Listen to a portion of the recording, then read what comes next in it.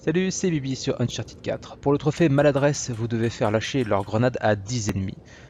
Le combat fuite du marché du chapitre 11 est l'endroit idéal, c'est un goulot d'étranglement, vous avez trois adversaires équipés de grenades, c'est à faire en difficulté assez élevée pour qu'ils vous balancent euh, des grenades. Euh, la marche à suivre c'est d'en tuer deux, le troisième euh, vous s'avancera un petit peu vers vous, vers l'étal gris ou la palette orange et vous balancera une grenade. Je vous conseille aussi d'acheter le mode ralenti, ça vous permet d'avoir un bullet time quand vous braquez votre arme, de quoi avoir le temps de viser le bide du mec quand il vous balance une grenade. Il la lâche à ses pieds et il explose Une fois que l'adversaire a explosé, il vous suffit de recharger votre point de contrôle jusqu'à l'obtention du trophée.